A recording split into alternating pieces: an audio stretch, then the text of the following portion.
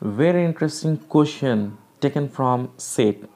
In a survey of a community, it was found that 75% of a people like milk and 60 people like curd. If there is none who don't like both of them, it means what? There is no one who don't like milk as well as curd. It means each and every person, each and every person, people of a community like either milk or curd so here number a first of all we have to represent in venn diagram. In number two what person like both. It means we have to find out intersection who like milk as well as curd. And in number c what person like curd only. Then we have to find out curd only. Let's take a start so let m and c uh, denotes the set of people who like milk and curd. You can write here let uh, m and c denotes the people who like milk and curd only respectively. Then we can write here if question in form of percentage then and you you can always uh, write here.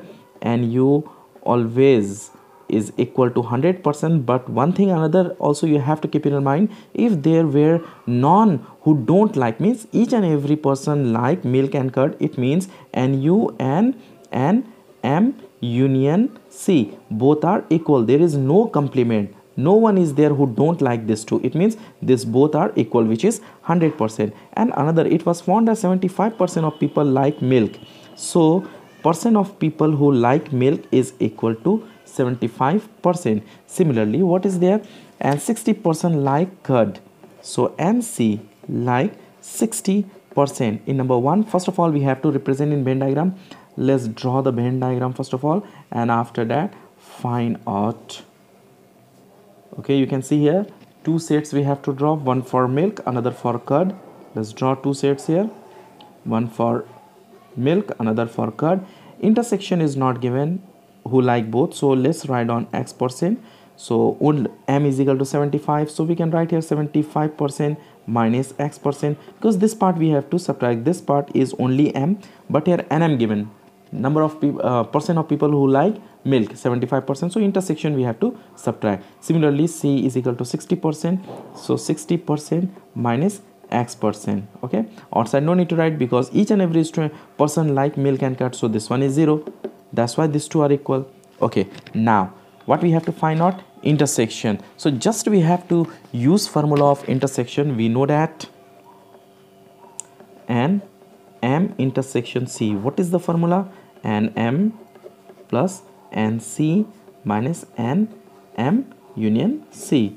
Is equal to what is here? 75 percent. So write on 75 percent plus nc is equal to 60 so 60 percent minus 100 percent. When you add this to how much we get here? Uh, 5 135 percent minus 100 percent. And we get here 35 percent. So what at last we have to write on therefore 35% people like both milk and curd. Milk and curd. And after this in number c what we have to find out? What percent like curd only? Means only curd we have to find out. Number of people percent of people who like curd only. Only c. What is the formula of only curd and c minus n m intersection c and c. And c is equal to how much given? 60 and intersection 35 so 60 percent minus 35 percent is equal to we get here? 25 percent. So at last what we can write? Hence 25 percent people like curd only okay? So you can write here 25% of people like curd only.